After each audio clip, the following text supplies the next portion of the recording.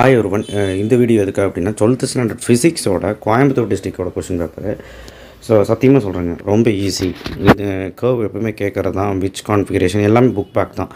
Book back எவ்வளோ கேட்டிருக்காங்க அப்படின்னு பார்க்கும்போது இப்போ ஏறத்தாழ வந்து ஒரு பத்து கொஷின் கேட்டிருக்காங்க. ஸோ இது வந்து ரொம்ப ஆச்சரியமாக இருக்குது மேக்னிஃபிகேஷன் டெலஸ்கோப்பெல்லாம் கேட்டிருக்காங்க. ஸோ ரொம்ப ஈஸியாக தான் இருக்குங்க. பாருங்கள் லாஸ்ட்டில் அவுட்புட் கூட ஈஸியாக தான் இருக்குது ஸோ லாஸ்ட் லெசனில் நான் ஒரு விஷயம் முக்கியமாக பதிவு பண்ணிக்க விரும்புகிறேன் என்னென்னா பப்ளிக் எக்ஸாம் ப்ரிப்பேர் பண்ணுறோம் ஸோ பிளான்லாம் பண்ணக்கூடாது. நான் எப்பவுமே பிளான் கரெக்டாக சொல்லுவேன் இல்லைங்களா? ஸோ அந்த விதத்தில் பார்க்கும்போது ஃபிசிக்ஸ் எக்ஸாமில் எல்லா கொஷின் பேப்பர்லேயும் இந்த கடைசி லெசன் பதினோராவது லெசன்லேருந்து ஒரு கொஷின் கேட்குறாங்க mention two advantage and disadvantage robotics three மார்க்கும் கேட்கலாம் சில டிஸ்ட்ரிக்ட்லாம் வந்து பார்த்திங்கன்னா டூ மார்க்கும் கூட கேட்டிருந்தாங்க. ஸோ நீங்கள் அட்லீஸ்ட் புக் பேக்காவது கவர் பண்ணிங்கனாலே அந்த லெசன் உங்களுக்கு தோராயமான மார்க் கிடைக்கும். ரிவிஷன் எக்ஸாமுக்கு நீங்கள் படிங்க. அப்போ நம்ம பப்ளிக்கும் படிச்சுக்கலாம். ஏன்னா அதுலேருந்து கேட்கப்படுங்கிறது இன்டெரக்டாக அவங்க சொல்கிறாங்க சாரி டேரக்டாகவே சொல்லிடுறாங்க. டூ மார்க் பாருங்கள் எவ்வளோ ஈஸியாக இருக்குது எல்லா டிஸ்ட்ரிக்டோட கொஸ்டின் பேப்பர் நம்ம சொன்ன கொஸ்டின்ஸ் தான் வந்திருக்குது. Electric flux drift velocity mobility இதெல்லாம் நேற்று நான் கொடுத்த ஒரு ஐம்பது டூ மார்க்லேருந்து அப்படியே வந்திருக்கு. ஆம்பியர் சர்க்கியூட்டெல்லாம் டிஸ்பிளேஸ்மெண்ட் கரண்ட்டு இந்த சம் ரிப்பீட்டுங்க எல்லா டிஸ்ட்ரிக்ட்லேயும் மூணு டிஸ்ட்ரிக்ட்லையும் இந்த சம் ரிப்பீட்டு இந்த சம்மில் வந்து பார்த்தீங்கன்னா உங்களுக்கு ஃபோர்த் லெசன் ரெண்டாக பிரியும். அந்த ஃபோர்த் லெசனில் ஆர்எல்சி செக்ஷன் அதாவது ஆல்டர்னேட்டிங் கரண்ட் செக்ஷன் ஒன்று இருக்கும். முன்னாடி ஒரு செக்ஷன் இருக்கும்.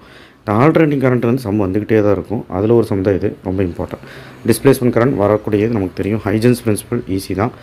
Focal length one fifty centimetre of lens what is the power of lens நீங்கள் சொல்லுங்கள் இது எவ்வளோ easy P equal to one by F போட்டால் ஆன்சர் நீங்கள் சொல்லுங்கள் எவ்வளோ ஈஸியாக இருக்குன்ட்டு. அடுத்தது பிரிம்ஸ்லங் கேட்டிருக்காங்க ஐசோடோன் ஐசோபார் எல்லாமே இம்பார்ட்டன் தான். ஐசோடோன் கேட்டிருக்காங்க. Capacitors parallel bad capacitor comparison EMF five மார்க்கில் கேட்க சொன்னால் த்ரீ மார்க்கில் கேட்டிருக்காங்க. சரி ஓகே இந்த சம்மும் ஈஸி தான். கொஷின் நம்பர் டுவெண்ட்டி செவன் இதுதான் கம்பல்சரின்னு அவங்க சொல்லியிருக்காங்க. A coil is a tangent kilometre example sum தான். ரொம்ப ஈஸியான ஒரு சம் தான் கேட்டிருக்கேன் டேஞ்சன் கிலோமீட்டர் சம்மில் ஒரு சம் தான் இருக்குது அதே கேட்டாங்க.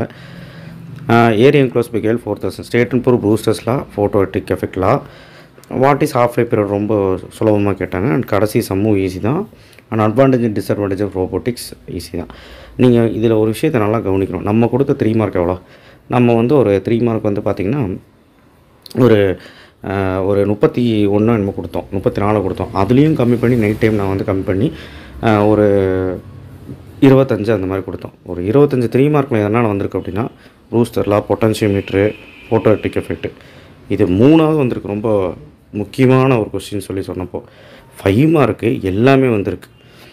அதுவும் நான் கடைசி உங்களுக்கு இருபத்தேழு கொஸ்டின் தான் கொடுத்தேன். அதுலேயும் கூட நான் கடைசியாக ஒரு மூணு நாலு ஸ்கிப் பண்ணி தான் கொடுத்தேன்.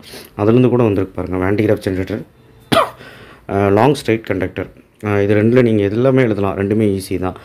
ஸோ மைக்ரோஸ்கோபிக் மாடல் கரண்ட்டு நம்ம நேற்று சொல்லியிருந்தோம். அது கூட வந்து ஆர்எல்சி அடுத்தது மேக்ஸ்வல் இன்டெக்ரல் ஃபார்ம் கண்டிப்பாக எல்லாருமே எழுதியிருப்பீங்க. இல்லைன்னா யங் ஸ்டபிள் செட்டு வரக்கூடியது தான். அடுத்தது ஆனால் இந்த யங் ஸ்டபிள் செட்டில் இந்த ஈக்குவேஷனை பார்த்து டிஃப்ரென்ஸ் அண்ட் எக்ஸ்பிரிமெண்ட் செட்டப்னு கேட்டிருக்காங்க. அப்போ நீங்கள் என்ன எழுதணும்னா பேண்ட் வித் எழுதக்கூடாது. அவங்க இந்த செட்டப்பை எக்ஸ்பிளைன் பண்ணிவிட்டு நீங்கள் பார்த்து டிஃப்ரென்ஸ் முடி தான் கண்டுபிடிக்கணும். இந்த மாதிரி கொஸ்டின் ட்விஸ்ட்டு பண்ணுவாங்க. இது நல்லா கவனிச்சு யங் ஸ்டபிள் செட்டுன்னு உடனே அந்த டெரிவேஷன் போட்டக்கூடாது ஓகேவா? மேக்ஸில் எழுதியிருப்பாங்க எல்லோரும். மிரர் ஈக்குவேஷன் ஸோ அடுத்து ஜேஜே தாம்சன் ரெண்டு பேஸ் தான். Electron microscope and full wave rectifier full wave rectifier half wave rectifier நம்ம சொல்லியிருந்தோம். ஸோ எல்லாமே நம்ம சொல்லக்கூடிய ஒரு கொஷின்ஸ் தான் வந்திருக்கு. அதுவும் ரெண்டுலேயுமே வந்திருக்கு ஆர் சாய்ஸில் ஒன் மார்க் முதல் கொண்டு இதில் வந்து நீங்கள் நான் இப்போ சொல்கிறேன் ஃபைவ் மார்க்கில் அஞ்சுக்கு நீங்கள் இருபத்தஞ்சுக்கு இருபது எடுத்துகிட்டு ஒரு அஞ்சு ஒன் மார்க்கில் ஒரு ஏழு எட்டு கரெக்டாக இருந்தாலும் இருபத்தேழு இருபத்தெட்டு மார்க் வந்திருக்கும். டூ மார்க்கில் ஒரு ரெண்டு கரெக்டாக இருந்தால் கூட ஒரு முப்பது ரெண்டு முப்பத்தி ரெண்டு முப்பது மார்க் வந்திருக்கும். அண்ட் த்ரீ மார்க்கில் ப்ரூஸ்டர்ஸில் யாரும் எழுதாமல் இருந்திருக்க மாட்டாங்க. ஃபோட்டோட்டிக் எஃபெக்ட்டும் இதுதான் ரொம்ப முக்கியம். பொட்டன்ஷியோமீட்டர் நம்ம சொல்லியிருந்தோம். இதில் ஒரு நாலோ ஒரு மூணோ எழுதுனா கூட நம்ம முப்பத்தஞ்சு மார்க் சாலிடாக நம்ம ஒரு எழுபதுக்கு எடுத்துடலாம். ரொம்ப வீக்காக இருக்கவங்க கூட. ஸோ கண்டிப்பாக வந்து பார்த்திங்கன்னா எழுபதுக்கு எழுது எடுக்கக்கூடிய ஒரு பேப்பர் தான். சரி எனிவே ட்ரை பண்ணிப்பீங்கன்னு நான் நினைக்கிறேன். ஸோ தேங்க்யூ வேறு ஏதாவது டிஸ்ட்ரிக்டில் கொஸ்டின் பேப்பர் இருந்தால் எனக்கு இன்ஸ்டா ஐடிக்கு அனுப்புங்க. அண்ட் ஆல்சோ இன்றைக்கி நாளைக்கு பயாலஜி சொல்லியிருக்காங்க. நிறைய டிஸ்ட்ரிக்ட் நிறைய எக்ஸாம் இருக்குது அதை நான் பற்றி பேசுகிறேன் பயாலஜிக்கு நான் இப்போ கூடிய சீக்கிரம் போட்டுறேன். தேங்க்யூ ஷேர் பண்ணுங்கள் சப்ஸ்கிரைப் பண்ணுங்கள் மறக்காமல் பெல்லைக்கணும் பேசுவேன்